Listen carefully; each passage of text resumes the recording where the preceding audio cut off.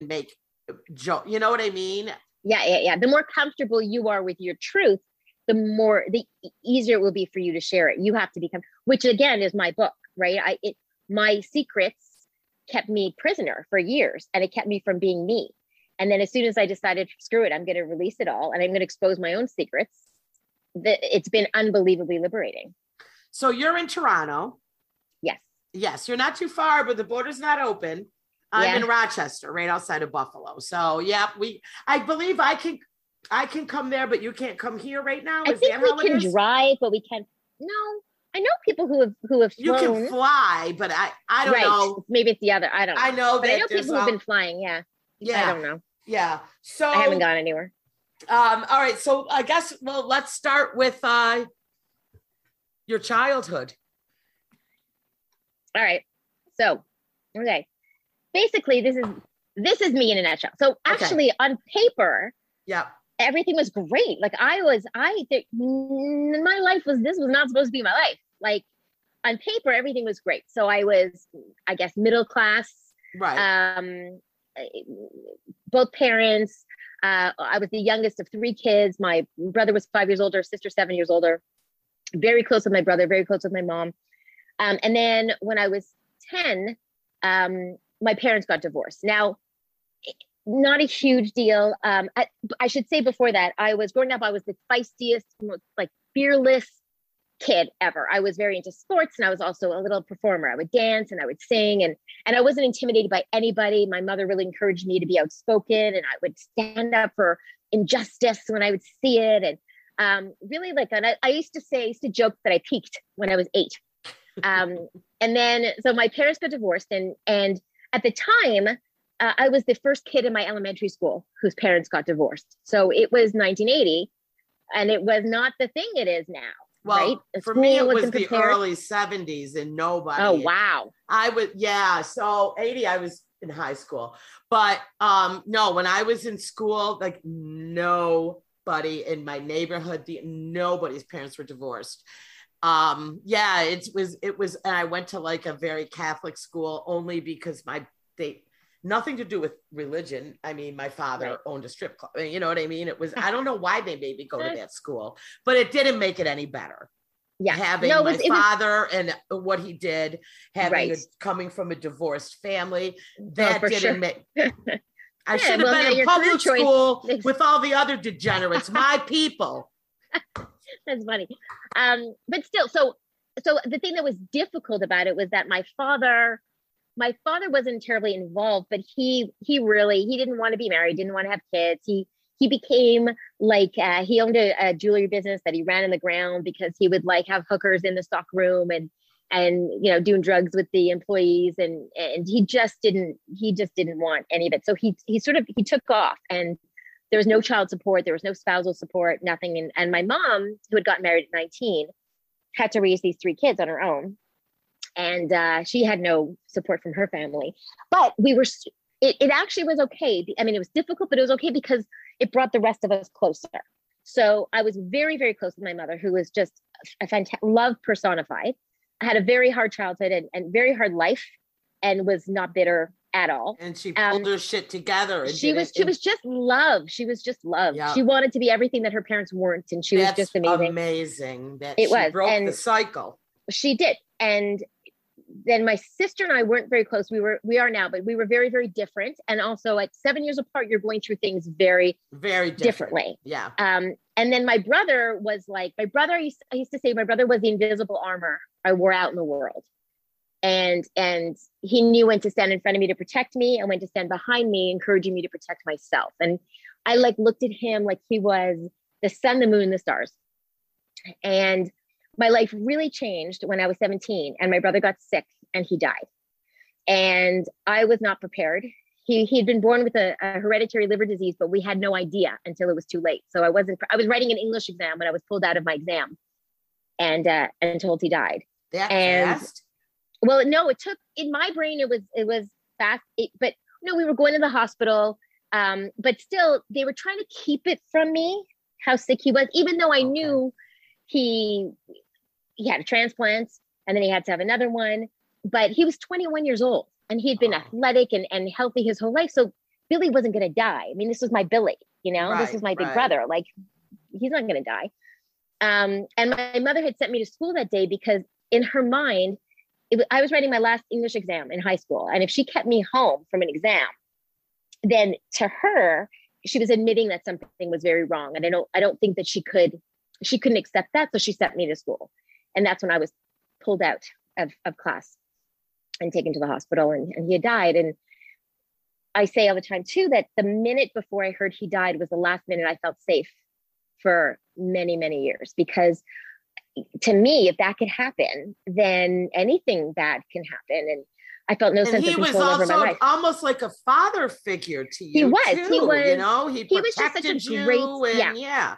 He, he was. So he you was looked up to him as a male figure in your life, and absolutely, yeah, that's he, yeah. He absolutely protected me and, and and loved me, and and and what was interesting was I remember when he went into the hospital. I remember um, I I was always very confident about my my body. I never had an issue with it. Um, but it was about 16, you know, you're starting to get the societal pressure.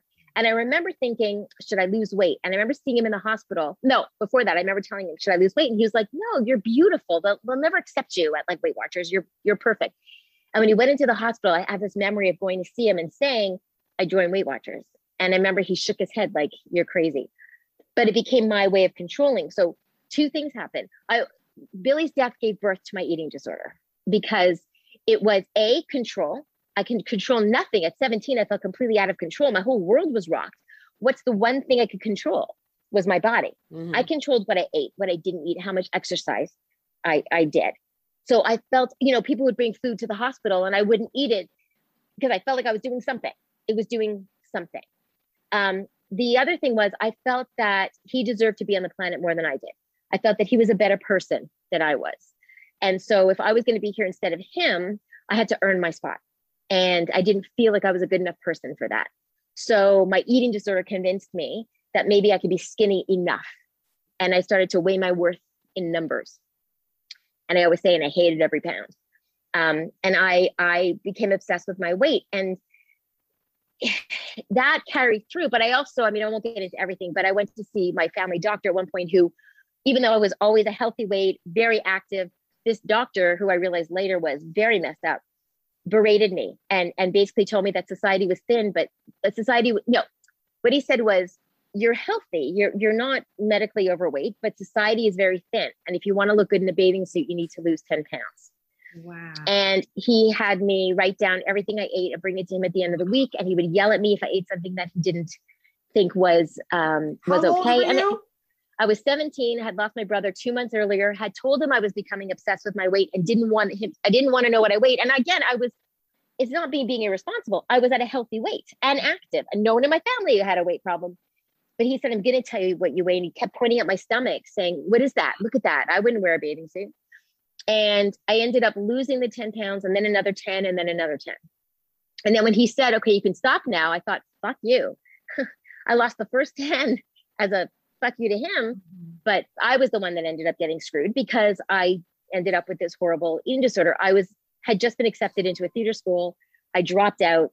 Um, I just it it took over. I just wanted to disappear. Um, and then I ended up kind of getting my shit together a bit and moving. I was in Montreal and I moved from Montreal to Toronto. Um, now, not to, I, I, I'm not going to get into the whole thing, but I will say that from that point, I would love to say that life gave me a break.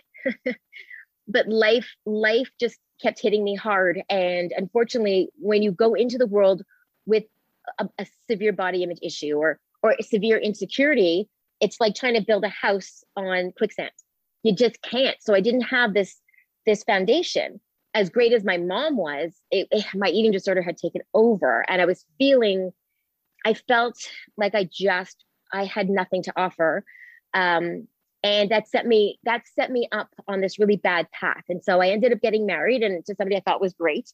And I won't say negative. I mean, we have two amazing kids, but um, again, life life got hard. So everything from um, after my brother died, um, uh, less than a year later, my stepfather was arrested for bank robbery. A few months after that, my mom got breast cancer.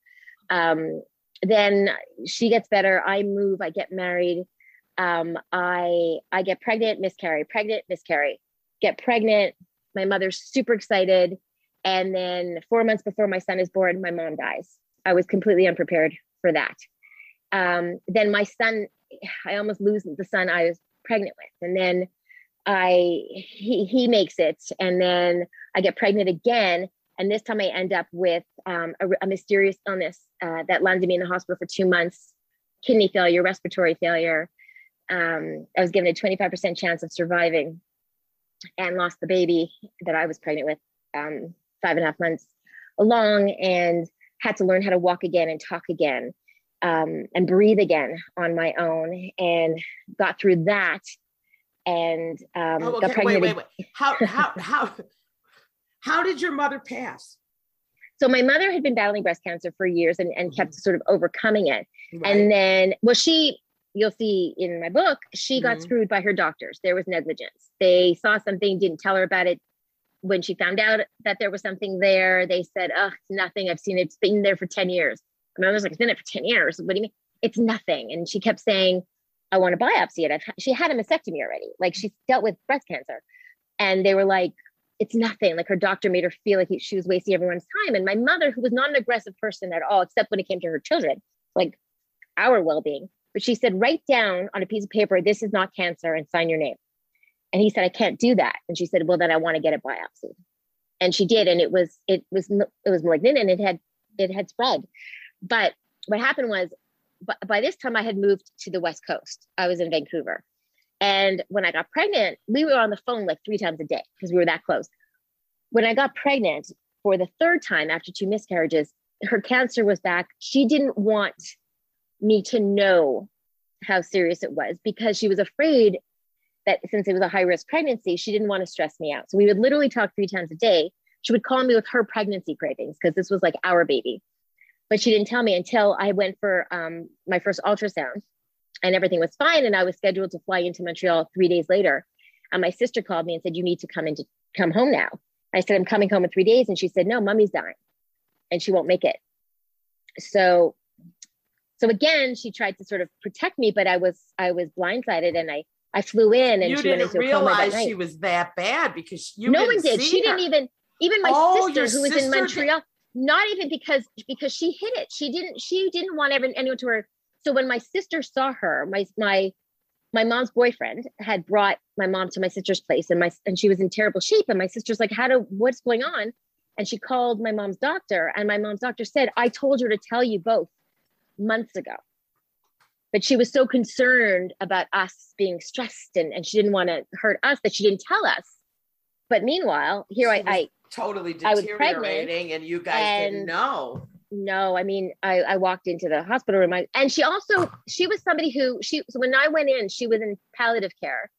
And you know you go in there and they let you smoke they let you drink because you're not getting out and they sort of let you do what you want. But my mother my sister told me my mother said to, said to the doctor the day they brought her in she said i'm going to be your first patient that walks out of here. She was not ready to go. She wanted to come and spend half the year in vancouver with me with the baby like she wasn't ready. So again, she wasn't telling me because in her mind, she was gonna she was gonna be okay. So I had way to of then staying positive. Yeah, and and and to try to protect us. But then what happened right. was, what happened was so when I so just to tell you how I got into the next part of the book is that when when my brother died, the the grief was too heavy for my 17 year old brain. That's why the eating disorder came up. It was a distraction easier to focus on my empty belly than his empty room. So that that pushed the trauma down. When my um, when my mom died, I was pregnant and I couldn't deal with that trauma. So I because I wanted to take care of the baby that I was carrying, right? So I pushed that grief down. When I got sick and I was in the hospital and I lost the baby I was carrying, when I got out, I couldn't deal with that because I had my my older son was 16 months old. I I, I didn't want to you know lose my mind when i had to take care of him so i pushed the grief down. When you push it down you're not getting rid of it. You're just pushing it down where it could do the most damage. And what ended up happening was i had moved back from vancouver um, reconnected with my father for a minute before he passed away a few months later. Um, i had another baby. Everything was great. But uh, something uh,